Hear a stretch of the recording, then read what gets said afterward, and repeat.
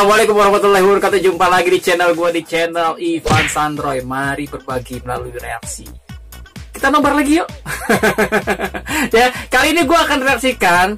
Nah, sekarang ini kalau nggak salah kan lagi ada film Godzilla vs Kong ya yang terbaru ini di tahun 2021 ini loh ya kan? Itu nah sebelum kita nonton untuk di Godzilla versus Kong ya kan? Ya Godzilla itu sendiri kan pernah ada film juga King of the Monster. Ini adalah temanya tentang para monster yang pada mereka bertarung. Godzilla di situ ada gitu loh. Nah jadi kenapa gue bilang di sini ada alur cerita atau plotnya itu sendiri? Memang sebelum lo nonton untuk di apa di Kong dengan uh, Godzilla versus Kong itu sendiri gitu loh ya kan? Lebih baik lu nonton dulu deh ya. Godzilla yang ini nih. Ya Godzilla yang King of the Monster. Nanti lu akan tahu paham alur cerita untuk yang di film selanjutnya. Nggak percaya? Ya jangan lupa subscribe like dan komennya loncengnya diaktifkan. Kalau misalnya nggak percaya ya udah lo tonton aja. Kita nobar bareng aja ya. Sebelum kita masuk atau gua masuk untuk ke videonya. Ya udah pasti. Gua bacotin dulu lah sinopsis untuk di Godzilla ini. Bacot Cot, bacot, bacot, bacot, bacot, Gitu loh. Godzilla King of the Monster merupakan film monster arahan sutradara Michael Dougherty yang rilis pada 2019. Nah, Dougherty ini sendiri juga terlibat dalam proses penulisan naskah bersama Zack Seal. Zack Seal. Sequel dari Godzilla ini sendiri di tahun 2014 ya, ada Godzilla tahun 2014. Ini merupakan film ke-35 dalam franchise Godzilla dan menjadi film Godzilla ketiga yang sepenuhnya diproduksi studio Hollywood.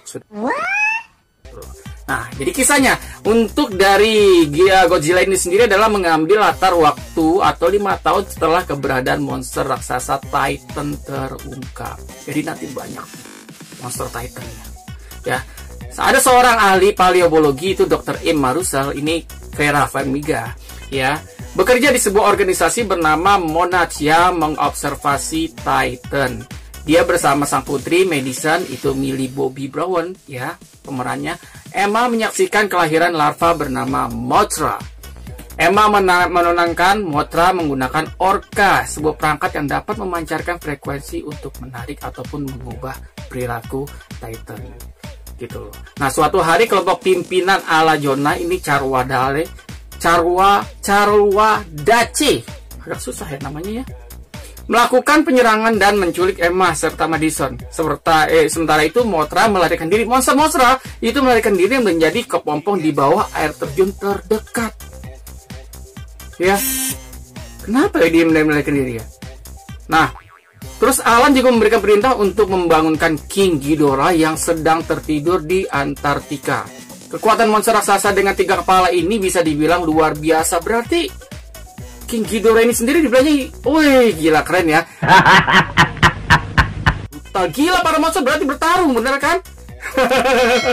Untuk video seperti apa jangan lupa subscribe, like, dan komen loncengnya diaktifkan. Langsung aja kita masuk ke videonya. Oke?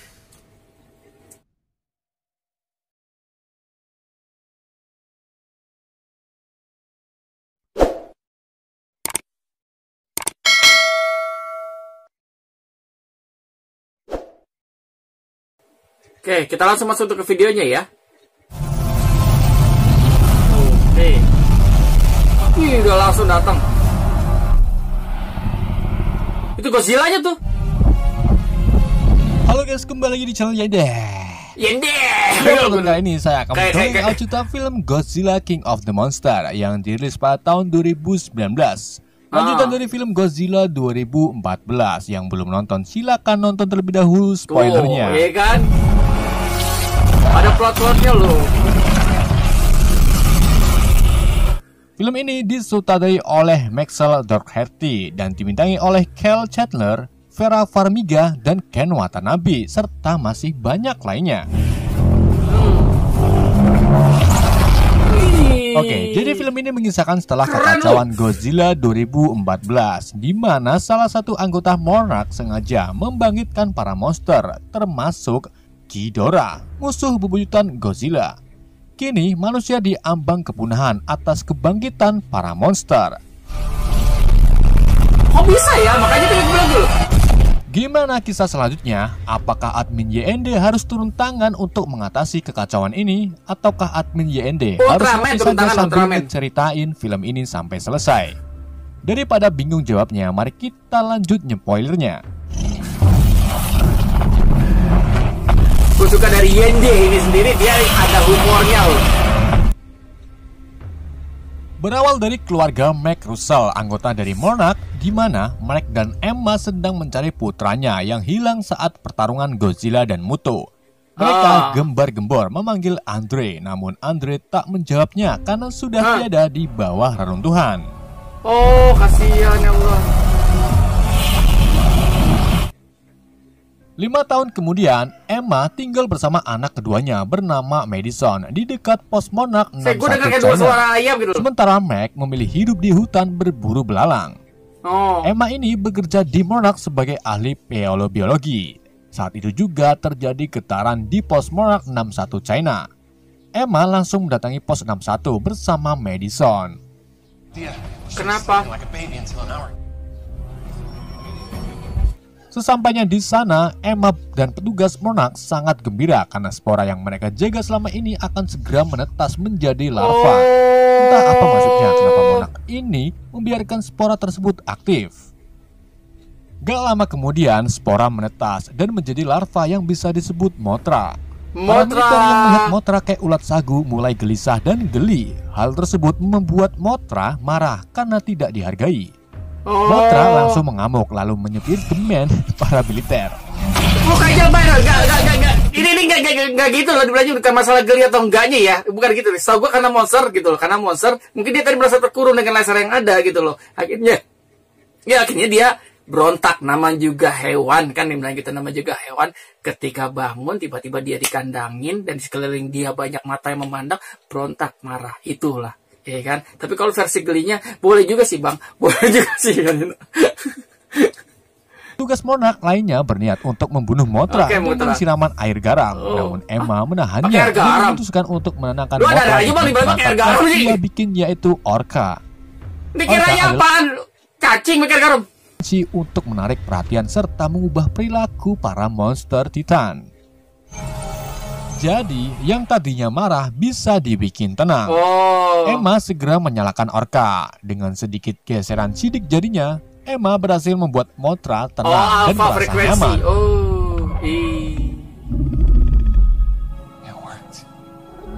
Gak lama kemudian, kelompok eko-teroris yang Aduh, dipimpin Alan datang Jonah lagi. datang membasmi para petugas Monarch. Alan ini mantan kolonel Angkatan Darat Inggris yang mempunyai visi memulihkan bumi dengan cara membangkitkan monster prasejarah. Kemudian kelompok Alan menculik Emma dan Madison beserta perangkat Orca. Beberapa jam kemudian, Mac Russell yang sedang memotret belalang rimba di hutan Colorado didatangi oleh pesawat Monarch. Membuat belalang incarannya lari terbirit-birit. Kemudian Dr. Serizawa, Dr. Graham, dan Sam Coleman keluar dari pesawat mendatangi Mac. Saat di kediaman Mac, Serizawa mengungkapkan bahwa Emma dan Madison baru saja diculik oleh kelompok teroris yang dipimpin oleh Alan Jonah. Zerizawa meminta Mac untuk membantunya melacak Emma yang telah membawa Orca. Jika Orca di tangan yang salah, pasti dunia akan hancur. Hmm. Awalnya, Mac menolak karena ia benci kepada Godzilla yang telah merenggut Iya, anaknya kan, nyawa putranya meninggal. telah diiming-imingi pijit gratis Pijit gratis lagi, gue lagi. K. Setelah itu, Mac dibawa ke pos luar 51 Monarch Bermuda. Bisa ya lu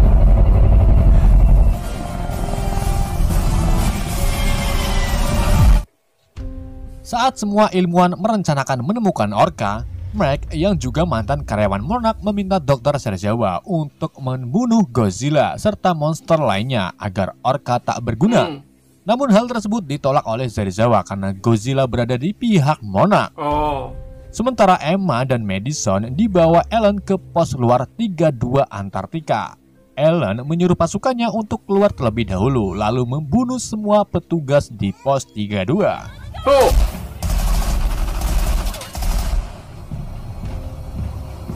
Setelah semuanya beres, mereka memasuki pos 32 di mana Ellen ini berencana untuk membangkitkan musuh bebuyutan Godzilla yaitu Ghidorah. Ghidorah.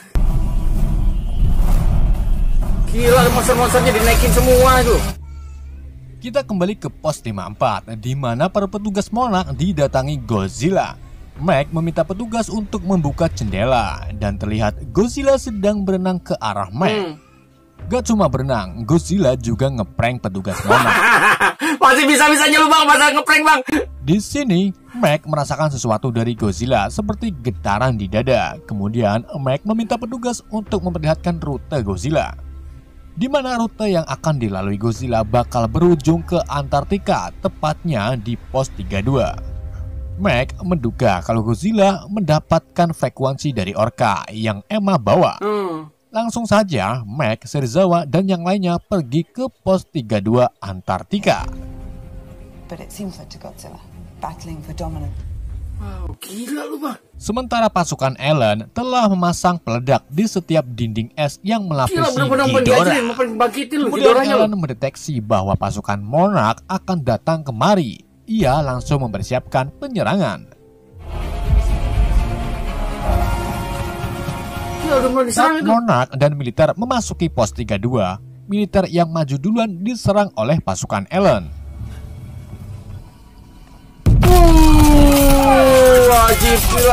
Di sini, Mac melihat Madison dan Emma sedang ditahan. Ia langsung bergegas menghampiri keluarganya. Saat Mac bertemu Emma dan Madison, ia langsung meminta Madison berjalan menghampirinya. Namun Emma tanpa alasan yang jelas menekan tombol peledak, membuat Kenapa? dinding lapisan Ghidorah hancur. Kok dihancurin? Emma, Madison, dan pasukan Ellen berhasil keluar dari pos 32. Oh Saat iya anaknya ya. pesawat, Ada anaknya, Ellen anaknya kenapa mungkin ada Emma bom atau gimana kali? Ghidorah dengan perangkat orka. Sementara Mac dan pasukan lainnya berusaha menghindari dari amblasnya pos 32. Oh. Setelah pos 32 amblas, Emma membangunkan Ghidorah dengan perangkat orka.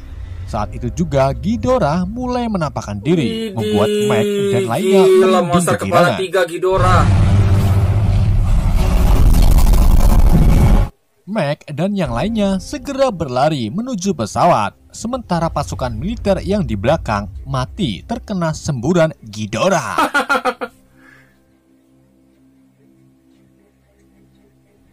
Kemudian Ghidorah menghampiri pesawat Monarch dan menyundul-nyundulnya. Saat itu juga Godzilla Itu muncul ya? dari bawah es. Ghidorah dan Godzilla pun bertarung. Oh,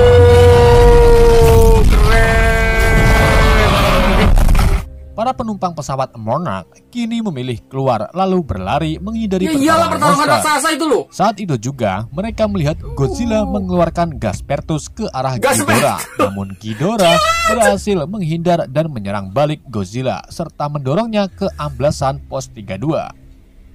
Di saat Graham, Mac, dan yang lainnya berlari kan bahasa gas spiritus. oleh. Ghidorah. Hal tersebut membuat Serizawa sok kegirangan. Gak lama kemudian, pesawat tempur datang menembaki Ghidorah. Ditambah kembalinya Godzilla naik ke atas, akhirnya Ghidorah memilih terbang dan pergi.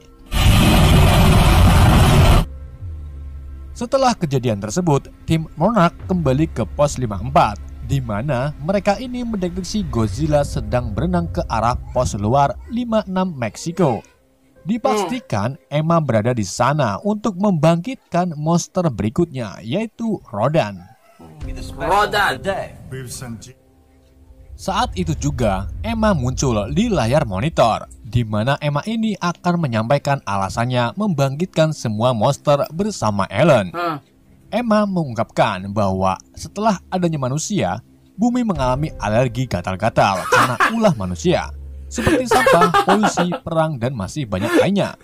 Namun saat para monster Titan muncul, bumi mengalami sedikit pemilihan. Contohnya bekas Godzilla dan Muto bertarung, di mana wilayah tersebut sekarang menjadi bersih dan banyak tumbuhan. Oh, begitu. Jadi peran monster Titan ini adalah merusak lalu memulihkan bumi. Emma sengaja membangkitkan Ghidorah untuk menjadikannya raja monster. Oh. Hal ini membuat Mike sangat marah. dengan kelakuan Emma. Setelah itu, Ellen dan Emma membangkitkan Rodan. Walaupun Madison melarangnya, Emma tetap membangkitkan Rodan.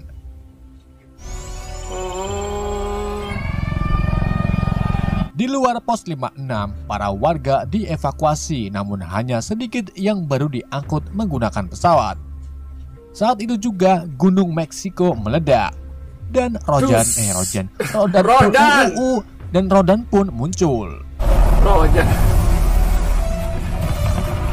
Aduh, Ojan, Ojan yang ngumpul Para Ojan. pesawat tempur mencoba menembakinya, namun Rodan tak merasakan sakit di kulitnya. Rodan juga menyapu bersih wilayah penduduk kota dan membunuh banyak sekali manusia. Gila, Allah. Di sini pasukan Monarch berniat memikat Rodan untuk berhadapan dengan Ghidorah yang sedang menuju kemari.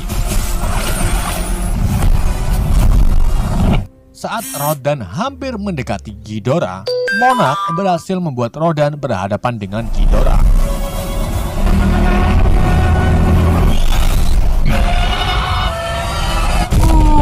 Hal tersebut membuat Rodan dan Ghidorah bertarung di atas lautan. Pertarungan tersebut dimenangkan oleh Ghidorah. Ghidorah Kemudian ya. Laksamana Stan menginformasikan bahwa ia sudah melepaskan rudal prototip yang bisa disebut penghancur oksigen ke arah Ghidorah tampaknya bakal membunuh Godzilla. Dan benar saja, Oh, bisa? saat Ghidorah mendekati pesawat Monarch dan akan menyerangnya, tiba-tiba Godzilla muncul menyelamatkan pesawat Monarch. Godzilla hampir mengalahkan Ghidorah dengan memotret satu kepala Ghidorah. Namun rudal prototip datang mengenai Oh Godzilla. iya, hancur. Oh. Setelah ledakan dasar tersebut mematikan makhluk hidup sampai jarak 2 mil per jam, Ghidorah muncul dari bawah laut lalu terbang ke atas gunung Meksiko. Masih hidup dia. Sementara Godzilla, detak jantungnya melemah dan dianggap mati. Oh. Ghidorah termingkring di atas gunung Meksiko, di mana kepalanya tumbuh kembali seperti buntut kadal. Sekarang ia menjadi rajanya monster yang dapat membangkitkan monster titan di seluruh Gila. pos tanpa perangkat Semua monster dibangunin semua ini. Di pos 54, Dr. Sen mengungkapkan lewat sejarah mitologi di mana Ghidorah ini berasal dari dunia luar, tepatnya alien yang masuk ke bumi untuk menterraform bumi sesuai tempat tinggal asalnya. Hmm, Jadi Ghidorah ini raja palsu dan bukan berasal dari bumi. Oke. See. Sementara Mothra yang sudah menjadi kepompong muncul dan berubah menjadi kupu-kupu raksasa. Dr. Link menyebutnya ratunya monster. Oh ini ratunya monster. Wih, Mothra ya. Meg yang berniat pergi untuk mencari anaknya melihat Mothra yang terbang menghampiri pos 54.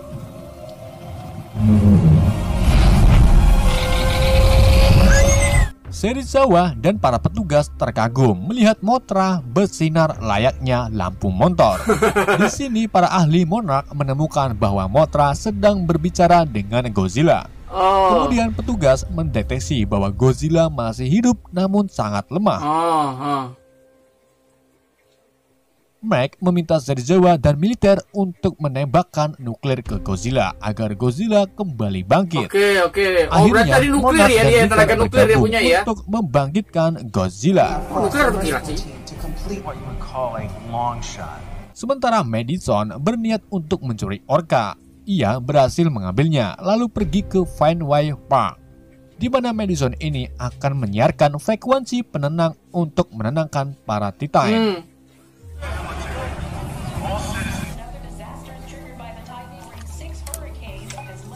Tim penyelamat Godzilla berangkat menuju lokasi Godzilla dengan menggunakan kapal selam.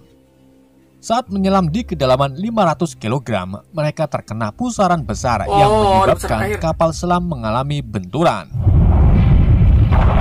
Setelah itu, kapal selam melanjutkan perjalanannya dan menemukan sebuah bangunan kuno di mana tembok-temboknya terdapat ukiran manusia yang menganggap Godzilla sebagai dewa penyeimbang Tapi bumi. di bawah ya?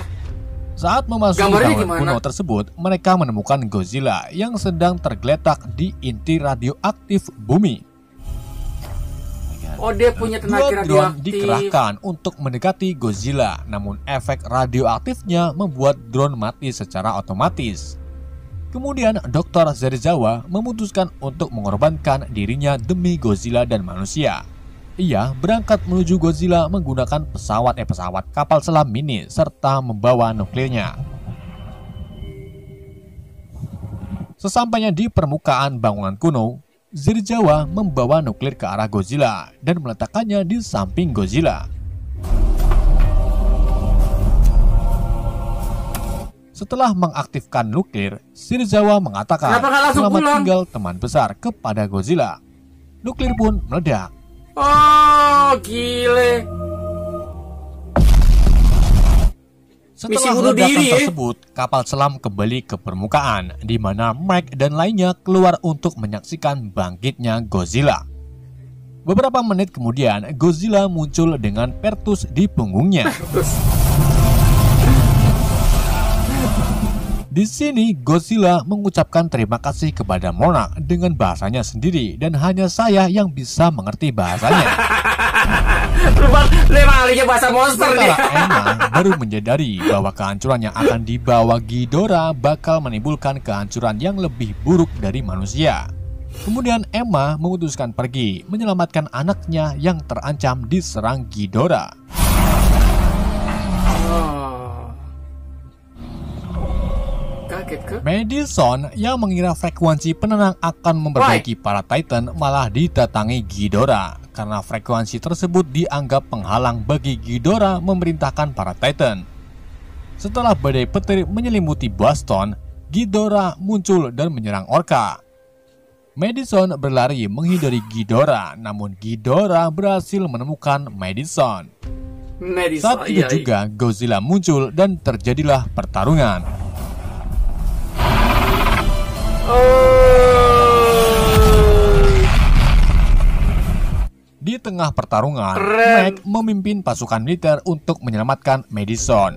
Gak lama kemudian, Mac menemukan orka yang sudah rusak.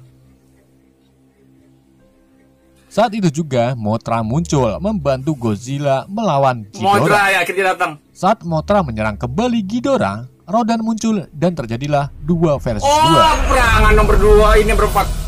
Mothra yang badannya terlalu kecil berhasil dikalahkan oleh Rodan. Namun Iya. Mothra tak selemah itu. Ia menusukkan sengatannya ke dada Rodan, Yes. membuat Rodan Ah. kaku dan jatuh. Gak lama kemudian, Emma datang lalu mengajak Mac untuk mencari Madison bersama-sama. Dengan dibantu ilmu penerawangan dari salah satu militer, mereka mengetahui jika Madison berada di rumahnya dulu. Mereka segera menuju rumah dan mencari Madison yang habis terkena reruntuhan. Setelah mencari-mencari, akhirnya Mac dan Emma berhasil menemukan Madison yang pingsan tertindih tembok. Oh, untung ya. Hampir ada kejadian yang di tahun itu ya, maksudnya anak yang cowok meninggal. Sedangkan Godzilla yang pertusnya melemah di cengkiwing Ghidorah ke angkasa. Kemudian Ghidorah menjatuhkan Godzilla. Setelah mengalami benturan yang sangat dahsyat, Godzilla lemas tak berdaya. Dan Mothra yang syarat dengan kejutinya melawan Ghidorah. Namun Ghidorah dengan mudahnya membunuh Mothra menggunakan semburan petirnya. Oh, hancur Modra dong Serpihan kalah. dari Mothra jatuh ke tubuh Godzilla Oh. membuat Godzilla mengalami sawan. Ghidorah berniat untuk menyedot energi Godzilla, sementara Emma dan Mike berusaha memperbaiki Orca untuk menyelamatkan Godzilla. That's it. That's it. Saat Orca aktif, Emma mengorbankan dirinya untuk membawa Orca sejauh mungkin agar Ghidorah mengikutinya. Ya, Saat pengejaran, Ghidorah berhasil melumpuhkan Emma dan akan membunuhnya. Namun tiba-tiba Godzilla bangkit dengan kekuatan barunya yaitu pulsa nuklir di mana tubuh Godzilla nuklir. sangat panas dan melelehkan di sekitarnya. Oh. Godzilla mengeluarkan gelombang pulsa nuklir yang sangat panas membuat Ghidorah langsung terbakar. Gila. Saat gelombang terakhir, di sinilah Godzilla berhasil membunuh Ghidorah dengan melelehkan tubuhnya dan menghancurkan kepalanya.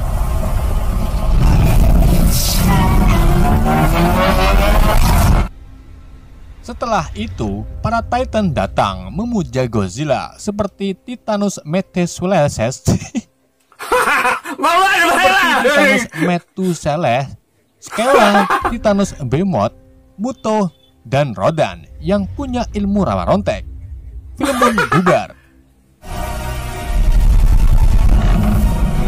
Gila Godzilla jadi rajanya para Titan. Eh benar, di adegan akhir kredit, berita dan film Monarch menunjukkan bahwa para Titan membantu menyembuhkan bumi. Oh. Telur Mothra kedua juga ditemukan dan beberapa Titan berkumpul di Skull Island. Sudah Ya. jelas para Titan mengajak Kong untuk tunduk kepada Godzilla, namun nggak tahu Ah. Kong mau apa enggak tunduk sama Godzilla.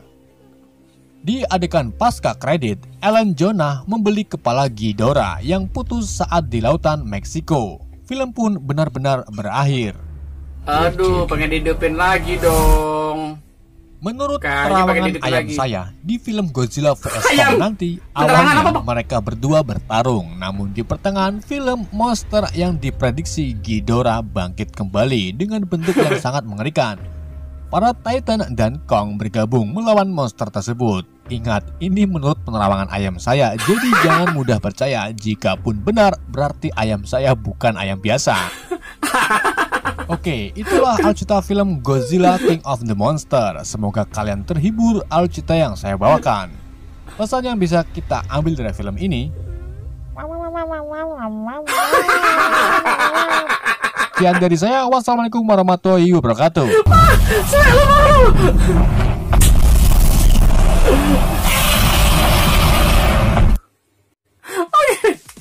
Jadi intinya adalah ini adalah perang para monster, perang para titan ya kan yang di mana ingin mencari satu yang terkuat di antara para titan di antara para monster dan akhirnya dimenangilah oleh si Godzilla yang benar asli dari bumi katanya gitu kan. Dan pesan saya ya dari film lagu apa dari film ini sendiri adalah miau miau miau. Udah nggak lucu juga sebenarnya kalau untuk gue gini ngomong. Tapi ini dia Black bisa loh belajar kayak maksudnya si admin itu sendiri bisa untuk membuat kita itu tercengang terbawa dan dengan bahasa spiritusnya dia ya oke. Okay. untuk selanjutnya lu tunggu lagi. Kira-kira gue akan reaksikan lagi film apa selanjutnya. Lah gue juga udah gak bisa ngomong apa lagi. Jangan lupa subscribe dan komennya loncengnya diaktifkan oke? Okay? wassalamualaikum warahmatullahi wabarakatuh. Sorry as DJ